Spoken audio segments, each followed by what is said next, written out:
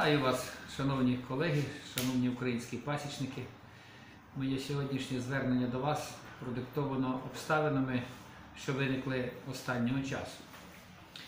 30 листопада у мене відбулася робоча зустріч з керівництвом голов Держспоживслужби на предмет співпраці і захисту інтересів пасічництва України і держави України. Мова йшла про те, як зробити оптимальним структуру діяльності Продспоживслужби, особливо ветеринарної служби, по догляду за пасіками, по проведенню експертизи, про видачі ветеринарних паспортів і всіх інших дій, що виконуються цією службою. В ході цієї розмови постало питання, що на сьогоднішній день в Україні пасіки не зареєстровані, що сьогодні не зареєстровані пасічники, невідомо скільки у нас є сімей, скільки ми можемо виробити меду і багато інших моментів, що пов'язано з статистикою в царині бджільництва. Я зауважив ту обставину, що сьогодні, коли починає держава говорити про можливу допомогу пасічництву, ми не знаємо фактично, кому цю допомогу надавати, яке з пасічницьких господарств має статус фермерського. А в цьому році, в наступному фінансовому, виділено мільярди гривень на підтримку пасічницького господарства. І фактично оця відсутність статистики не дає можливість нам плідно співпрацювати для вирішення цих питань. Моя пропозиція зводилась до того, що оскільки ми рухаємося в Європу, оскільки ми запроваджуємо європейські стандарти, відповідно нам треба дотримуватись порядку, який існує в Європі, в інших країнах, зокрема в наших сусідів, поляків, болгарів, румунів, де кожна пасіка, кожен пасічник, кожен вулик зареєстрований, має свій інвентарний номер. А відтак тим же самим лікарям-ветеринарам легше вислідити, яка хвороба в якому вулику, зафіксувати, через певний проміжок часу її перевірити і таким чином вжити заходів щодо знешкодження цієї хвороби.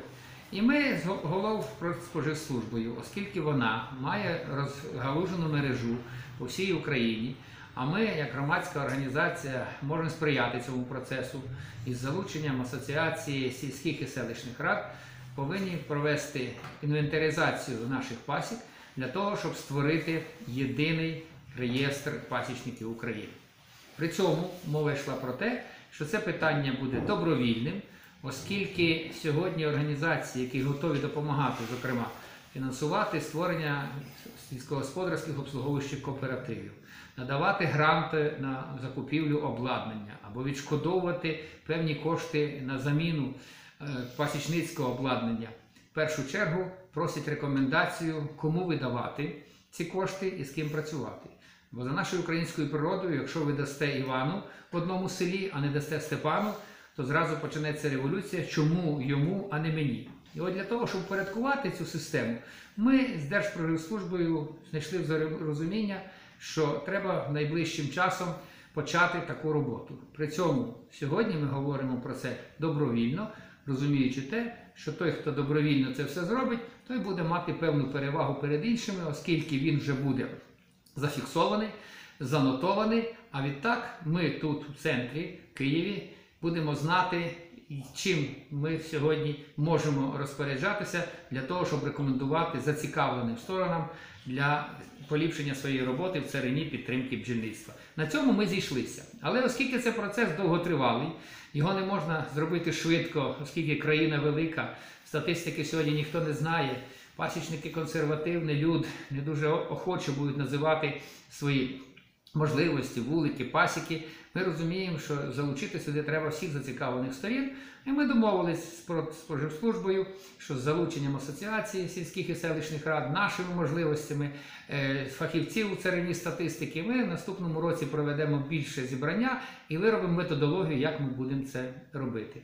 При цьому я ще раз зауважую, що ніякого примусу щодо реєстрації ми робити не будемо. Захочуть пасіки показати свої можливості, ми залюбки з ними будемо співпрацювати.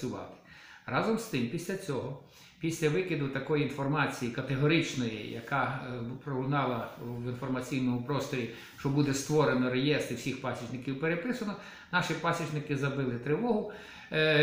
Е, підозрюючи спілку пасічників в тому, що от ми хочемо переписати всіх пасічників, всі вулики, а потім обкласти податком, як це було в недавні наші часи. Я добре пам'ятаю кінець 50-х, початок 60-х років, як кожне кожна яблуня, вишня, кущ, свиня, теля обкладалися так званим сільськогосподарським податком. Мені маленькому хлопчику доводилось носити відра корму свиням, які знаходилися в лісі в від села, для того, щоб їх нелегально погодувати. Я це добре пам'ятаю.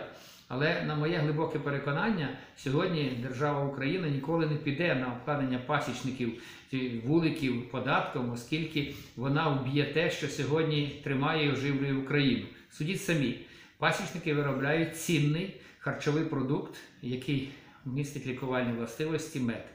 Пасічники виробляють величезну кількість меду, який йде за експорт, і в Україну надходить валютна виручка, що тримає нашу гривню.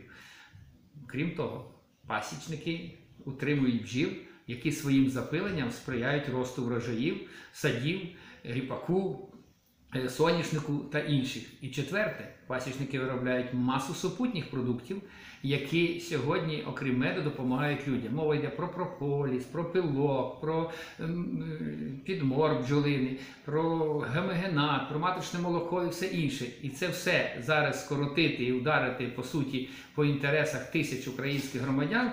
Це абсолютно безглуздо.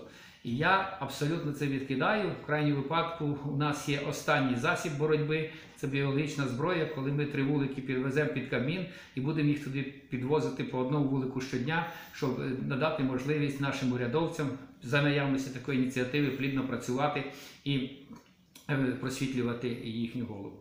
Зауважу інше. Для того, щоб ставати сильними і впливовими, нам треба об'єднатися. Процедура об'єднання, процедура е, організаційних заходів, що сьогодні здійснюється спілкою, вже проведена і фактично знайшла відгук у серцях багатьох пасічників, і всі розуміють, що без об'єднання нам буде вистояти, вижити у цих умовах дуже складно. І та робота, яку ми провели, вже заслуговує на увагу, і це відчувається по відгуках, які ми отримуємо з території, але і недостатньо. Тому, завершуючи свій виступ, я хочу звернутися до вашого розуму, до вашого сумління, вашого розуміння ситуації. З закликом, якщо хочете побудувати нормальну організацію, захистити себе у своїй професії, в своєму вподобанні, чиємусь хобі, будь ласка, давайте будемо об'єднуватись. Не подобається керівництво спілки, оберете через рік іншу. Не подобається на місцях, переобирайте своїх керівників. Але просто пам'ятаємо про те, що організація робить сили десятеро сильнішими. Дякую за увагу.